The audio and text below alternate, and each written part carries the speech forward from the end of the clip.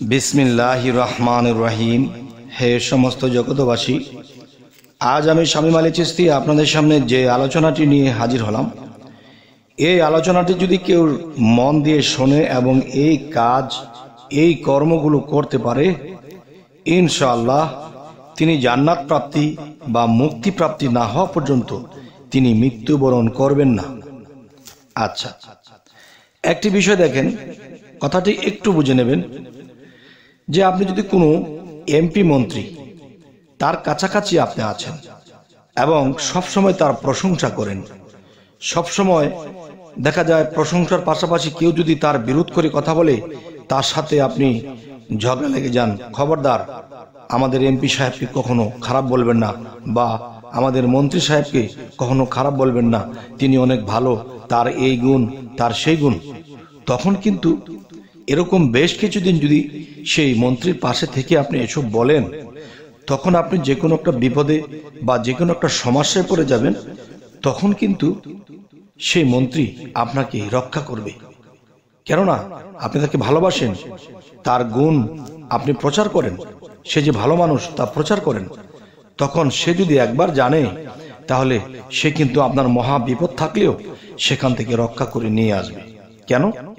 আপনি তাকে ভালোবাসেন, তার প্রশংসা গান। তাই আমি ছোট একটা কথা দিয়ে বললাম, পৃথিবীর এমপি মন্ত্রী আল্লাহর কাছে তো কিছুই না। তারপরও যুক্তি দ্বারা এটা বলতে হলো। তো এখন যেটা বলব, যে আল্লাহর কোন প্রশংসা, কোন কাজগুলো, কোন সাধনাগুলো, কোন নিয়মগুলো পালন করলে যে সাথে সাথে আল্লাহ আপনাকে রক্ষা করবে এবং আপনি মৃত্যুর আগে আপনার সাধনা কর্ম আমল হিসেবে আপনি যদি জান্নাত প্রাপ্তি হন, তবে জান্নাত প্রাপ্তি হয়ে যাবেন। আর যদি আপনি মুক্তিপ্রাপ্ত হন, সেই আত্মার মুক্তিপ্রাপ্ত হয়ে যাবেন। যতক্ষণ পর্যন্ত না হবেন, ততক্ষণ পর্যন্ত আপনার কাছে আজরাইল আসবে না। এই কথাগুলো আমি আপনাদেরকে ভেঙে বলছি। অবশ্যই খেয়াল করে শুনবেন। দেখুন, আমরা কিন্তু ছোটবেলা থেকে এ পর্যন্ত পড়ে এসেছি, যতদিন বাঁচবো এটা পড়ব। যে আমরা বলতেছি কি সুরা ফাতেহার মধ্যে, যে সিরাত আল মুস্তাকিম সিরাত আল মুস্তাকিম, তার মানে সিরাত আল মুস্তাকিমের সহজ সরল পথ আল্লাহ আমাদেরকে দান করুন।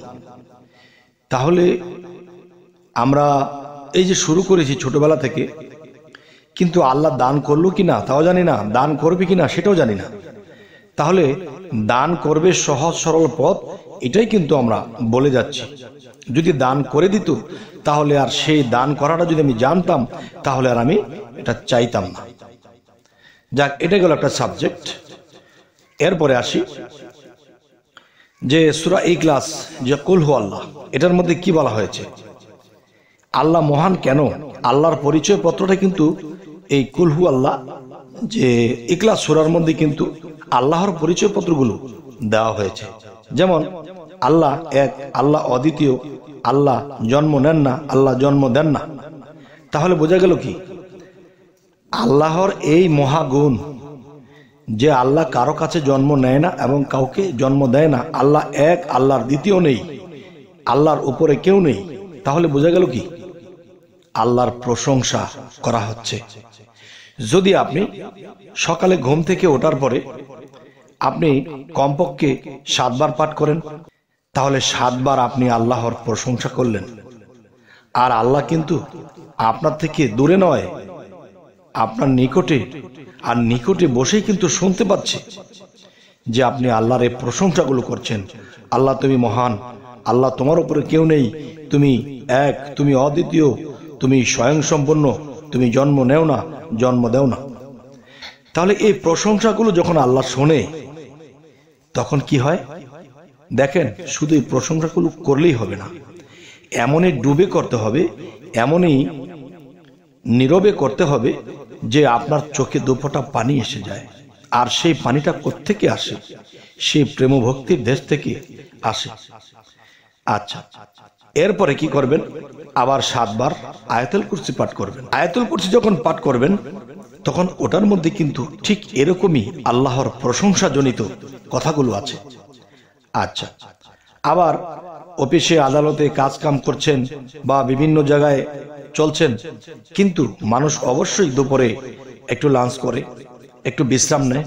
ঠিক তখন ইকলাস এবং আয়তুল কুরসি সাতবার সাতবার করে পাঠ করে ফেলবেন। যেন মনে করবেন, এগুলো যখন পাঠ করতেছেন, তখন মনে করবেন যে আল্লাহ আপনার সামনেই আছে, আপনি আল্লাহর সামনে এই জিনিসগুলো পাঠ করতেছেন। তখন দিন দিন দিন দিন আল্লাহ এগুলো শুনে আল্লাহ যখন প্রশংসিত হচ্ছে, তখন কিন্তু আপনার কোনো বিপদ, আপদ, কোনো সমস্যা বা আপনি মৃত্যুর পরে জাহান নামে যাবেন, এরকম কিছু আল্লাহ এটা হতে দেবে না। আপনাকে সুপথে রাখবে। সিরাত আল মুস্তা কিন্তু প্রত্যেক বেলায় বলাই হয়। আচ্ছা এরপরে কি? যখন রাতে ঘুমাবেন, ঘুমাইতে যাওয়ার আগে আল্লাহ তালার কিছু জিকির আসকার করে এরপর এগুলো আবার পাঠ করবেন। পাঠ করার পরে তখন যে একটু ধ্যানমগ্ন হবেন। আর সেই ধ্যানের মধ্যে যেন আল্লাহকে ভাবতে ভাবতে চোখের পানিগুলো গড়গড় করে করতে থাকে। দেখেন, আপনাকে যদি শয়তানের কোনো অসহসা থাকে, যদি আপনার মধ্যে শয়তানের অসহসা দেয়, তখন এই জিনিসগুলো পাঠ করার পরে আপনার ভিতর থেকে সে অলসতা কেটে যাবে। অলসতা যখন কেটে যাবে, তখন আপনার আরও বেশি ভালো লাগবে। আমি সাতবার বলেছি একুশ বার হয়ে গেছে। একুশ বার বলেছি, দেখবেন যে নব্বই একানব্বই বার হয়ে গেছে। কোন দিক দিয়ে হয়ে যাবে বলতেও পারবেন না। তাহলে শরীরটা যখন আপনার শিহুরিয়া উঠবে, চোখ দিয়ে যখন গড়গড় করে পানি পড়বে, তখন আল্লাহ কিন্তু আপনার সামনে। আপনি যা কিছু বলছেন, আল্লাহর যা গুণ আপনি প্রকাশ করছেন, এটা কিন্তু আল্লাহ আপনার সামনে। তখন আপনার শরীর শিহুরে উঠছে, এমন লাগছে, যদি আমি আল্লাহকে আমার এই দৃষ্টি চক্ষু দিয়ে দেখতে পারতাম, তাহলে আমি আল্লাহর চরণের মধ্যে পড়ে যাইতাম। তবে হে সমস্ত জগতবাসী আজকের এই আলোচনাগুলো কেন করা হলো? দেখেন, মানুষ কিন্তু নামাজের মধ্যেও এই ছোড়াগুলো পাঠ করে। পাঠ করলে কি? তখন কিন্তু যে আপনি নীরবে বসে যখন চোখের পানির সাথে, আপনি ধ্যানের সাথে যখন আপনি ভক্তির সাথে যখন আপনি এটা করবেন, এটা এক বিষয়।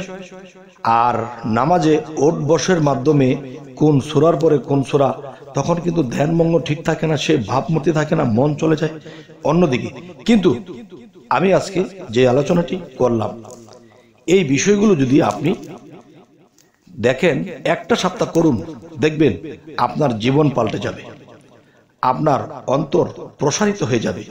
আপনার ভিতরে আত্মা আলোকিত হয়ে যাবে। জীবনটাই ধন্য হয়ে যাবে। আর এই নিয়ম যদি মৃত্যু পর্যন্ত চালিয়ে যেতে পারেন, কি হবে জানেন? আল্লাহ আপনাকে জাহান নামে দিতে লজ্জা পাবে। আল্লাহ আপনাকে যদি দেখে মুক্তিপ্রাপ্ত হয়ে গেছে, কিন্তু সেই মুক্তি আপনাকে দিতে হবে। যদি না দেয়, তাহলে আল্লাহ লজ্জিত হবে।